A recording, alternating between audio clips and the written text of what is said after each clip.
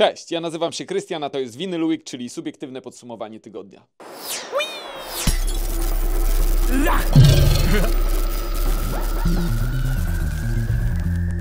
Zaczynamy z grubej rury. To już koniec płyt winylowych.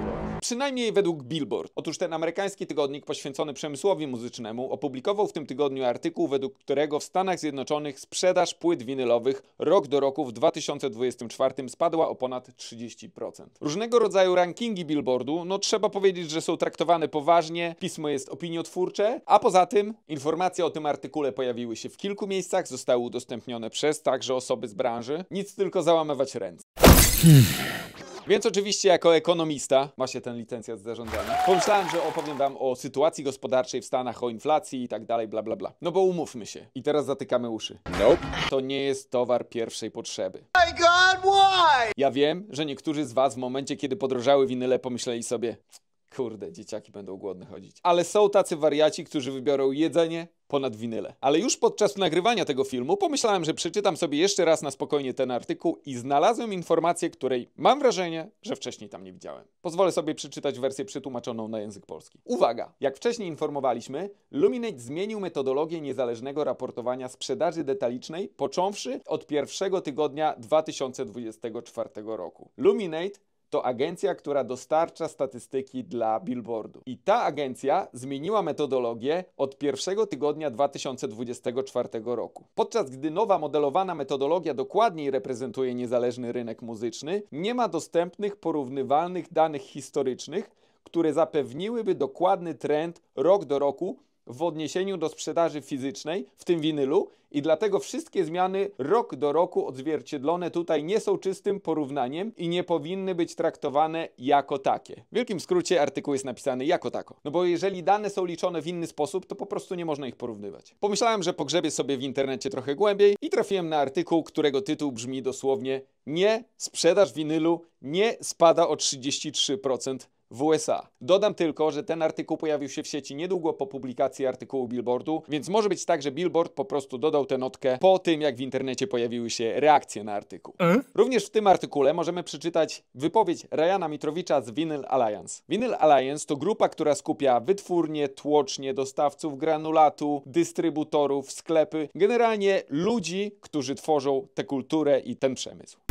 Misją Vinyl Alliance jest m.in. edukacja, ale też badanie tego rynku. I jak czytamy w tym artykule, pan Ryan wypowiada się w ten sposób. To jest po prostu fałszywa statystyka. Zasadniczo Billboard nieodpowiedzialnie podał te liczby bez ważnego zastrzeżenia, że liczby w 2024 roku nie mogą być porównywane z rokiem do roku z powodu zmiany modelu Laminate. Poprawiliśmy tutaj narrację. Rozmawiałem bezpośrednio z Laminate, który podzielił się ze mną rzeczywistą statystyką plus 6,2%. Dalej czytamy, frustrujące jest to, że brak właściwego wyjaśnienia tak znaczącej i niereprezentatywnej postaci doprowadził do fałszywej narracji krążącej w internecie. Takiej, która może być poważnie szkodliwa dla naszej branży. No i tutaj trzeba się zgodzić. Ale żeby nie opierać się tylko na artykułach z sieci, postanowiłem odezwać się do naszego dostawcy ze Stanów Zjednoczonych. Dodam, że należy on do największych dystrybutorów na całe Stany Zjednoczone. I czego się dowiedziałem? Otóż sprzedaż winyli w tym roku wzrosła o 6%. No co za zbieg okoliczności. Reasumując, to nie koniec winyli. I bardzo dobrze.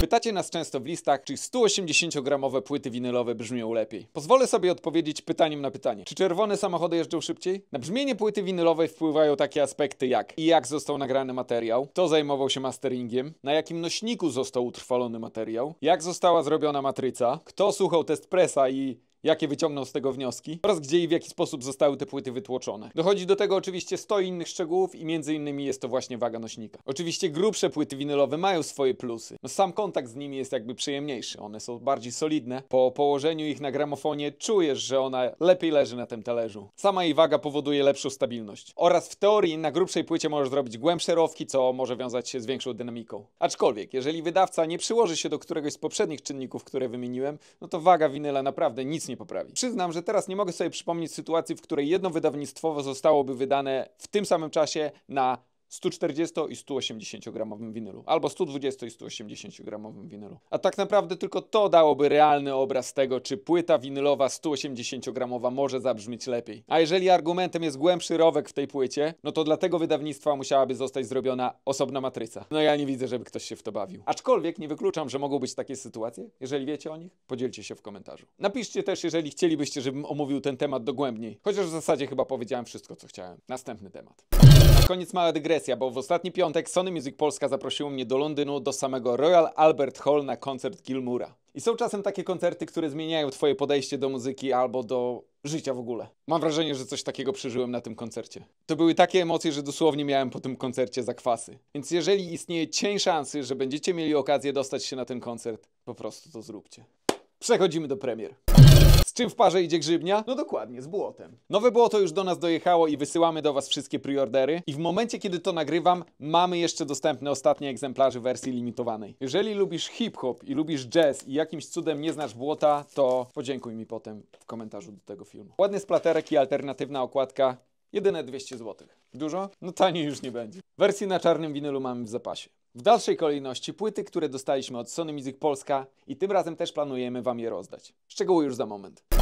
Doja Cat, Scarlet 2. Nie mogę chyba powiedzieć, że to jest niedoceniona artystka, aczkolwiek chyba zbyt często niesprawiedliwie krytykowana. Uważam, że obecnie w tak zwanym mainstreamie jest jedną z najlepszych raperek, a na pewno jest najlepszą raperką, która jednocześnie Naprawdę dobrze śpiewa. Ja ją lubię i nie rozumiem tego hejtu. Dalej Swallow the Sun, czyli fiński doom metal. A jakże? I ich nowy album Shining. Kolejna płyta, Rosalia Motomami. Jeżeli czytacie recenzję Szymona na Facebooku, to znacie już ten album, a to wersja na dwóch LP z dodatkowymi utworami. A teraz artysta, którego w Polsce wypromował Rafał Trzaskowski. Przepraszam za to wszystkich fanów Jamiroquai. The Return of the Space Cowboy. Dawno tego nie słuchałem, to jest zajebisty album. Według tego, co jest tu napisane, jest to edycja na 30. rocznicę wydania albumu, co oczywiście jest kłamstwem, bo ten album ma 10 lat. Tak. Kolejny winyl to Hair, czy też czyta się to H-E-R? Nie wiem, ja nazywam ją Hair. I used to know her. Nie wiem z którego roku jest to album, na pewno nie jest to dzisiejsza premiera, ale z tego co tutaj czytam, jest to pierwszy raz na winylu. 2018. To jest naprawdę świetny album, jeżeli lubisz połączenie RB i soulu. Ta płyta trafia akurat do mojej kolekcji i jestem bardzo ciekaw, co to oznacza Slightly Gold Vinyl, czyli tak jakby trochę złoty. Jest tylko jeden sposób, żeby to sprawdzić. Oj, za ostry nożyk. No sam bym tego lepiej nie określił. No trochę złoty. Polecam wam tę wokalistkę. Jak wiemy, muzyka jest najważniejsza, ale kto nie lubi fajnych, ciekawych, kolorowych wydań?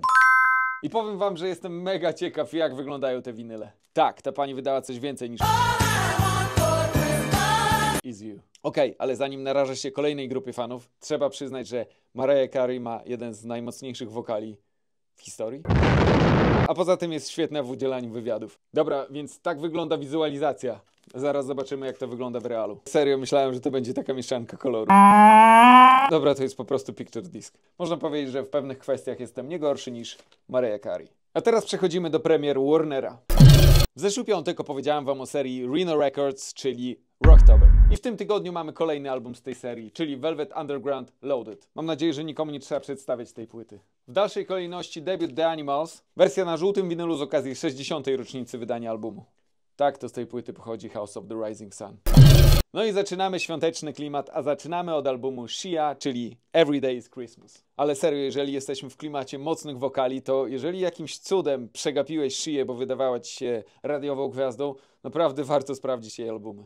Tutaj w kolorze Peppermint, czyli chyba miętowym. The Sisters of Mercy Floodland, The Blessed Madonna, a poza tym wznowienia. Baby Shambles, The Stranglers, The Proclaimers i All Saints. Z premier nie można też zapomnieć o nowym albumie Jerego Cantrella I Want Blood, u nas na czerwonych winylach, oraz o wspólnym projekcie Komona i Pete Rocka, The Auditorium Vol 1. Wiadomo, że to są legendy, ale ten album jest aż zaskakująco dobry. Z uwagi na fakt, że w tym tygodniu zmarnowałem kilkanaście godzin na sen, Zgłoszenia do naszej nowej serii Digger Tygodnia wystartowały dopiero wczoraj.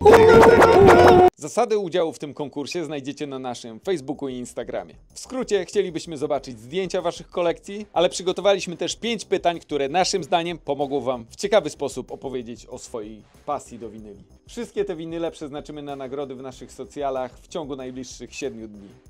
Dzięki.